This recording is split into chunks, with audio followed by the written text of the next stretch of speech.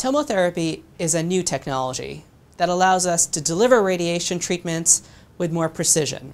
At Alta Bates Summit Medical Center, we're able to use this precision and treat patients with cancer, specifically patients with prostate cancer.